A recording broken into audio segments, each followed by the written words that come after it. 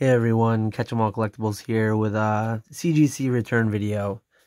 I've got two returns that just landed. I believe it's uh, a 700 card total return, and as I've done recently in the past, it's just going to be like a highlight video. I'm not going to show you all 700 cards. That's too much.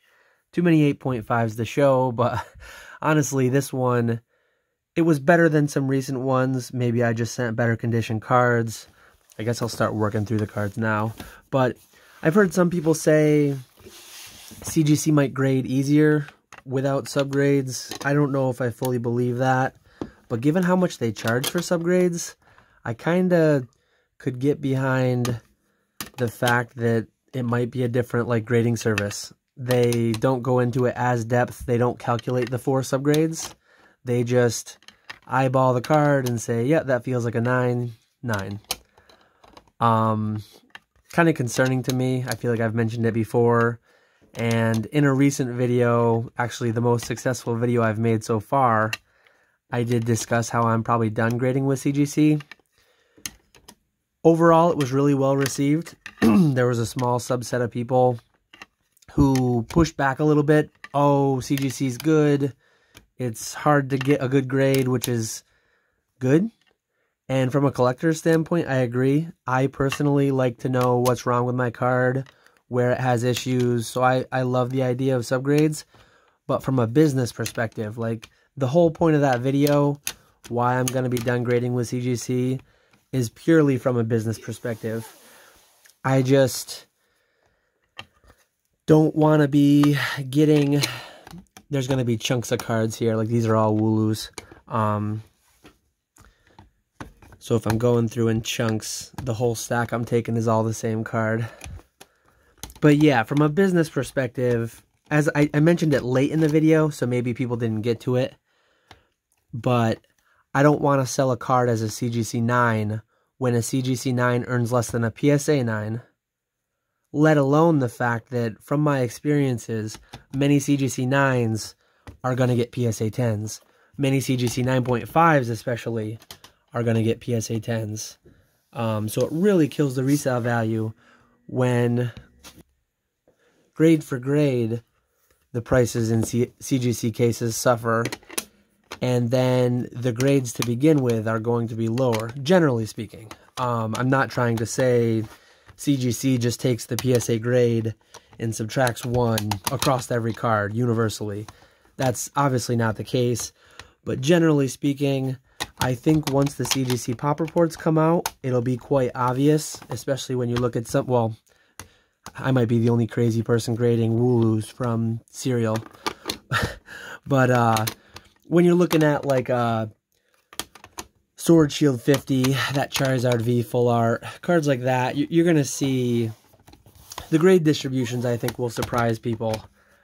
The PSA 10 rate for a given card versus how many of them get CGC 10, CGC 9.5, etc. Um, but yeah, in any case, the main reason I'm halting grading with CGC is primarily a business one. That said, for the same reason I, I don't want to be selling CGC cards, I'm going to be buying a ton of them.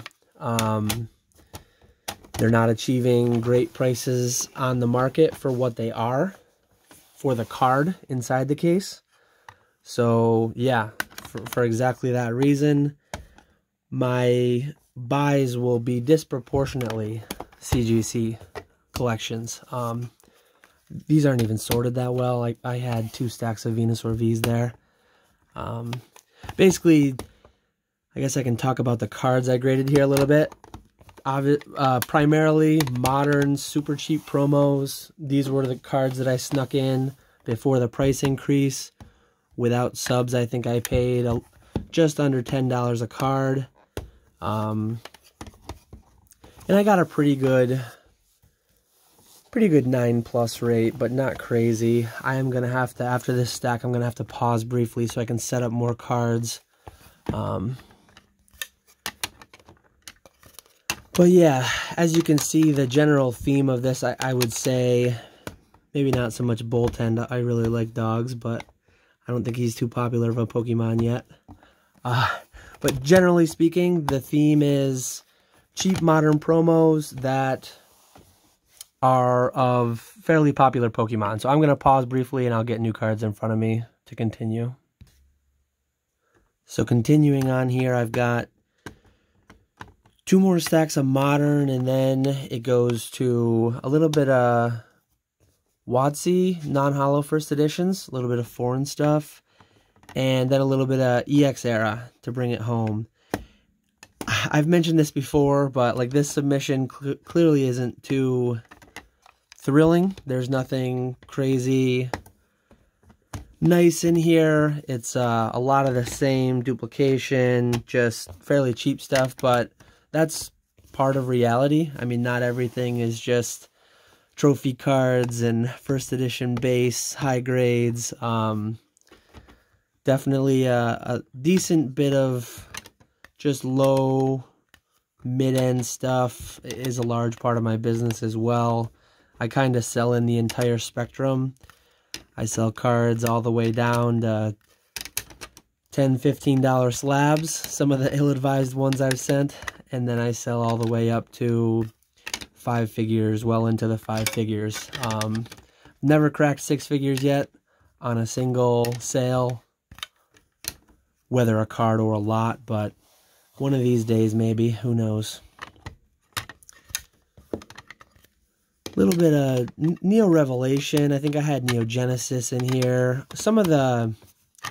I have found, like, everyone graded Jungle and Fossil.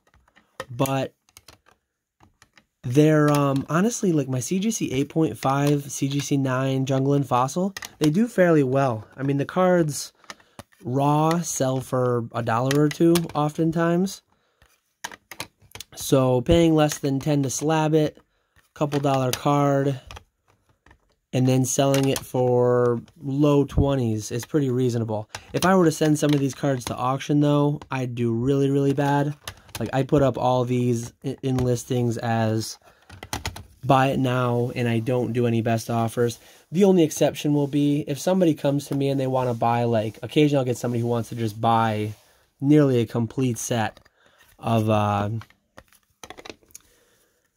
common or uncommon, CGC9, jungle, I'll I'll send an offer for like 10 to 15% off every single card in the set and they'll buy 20 or 30 cards at once. Those are a win-win because they save a few bucks over my buy now pricing. They get everything all at once and I save on shipping fees because to ship one of these slabs, if, if someone in California buys it, it's like 450 right now for first class. I, I, I think USPS pricing is actually going up soon Maybe it already has. I'm recording this on the 16th. It'll probably go live tomorrow on the 17th or maybe 19th on Wednesday. I've got a, a PWCC rant video I'm going to be recording tonight too, so I don't know which one will go up when. but yeah, these um, these foreign-based first edition, I, I don't think I have too many listed on eBay yet, but I've got, those are the pictures, that those are the ones that I'm currently like photographing. I think I showed another return video of CGC foreign first base. And I had a lot of people message me, email me.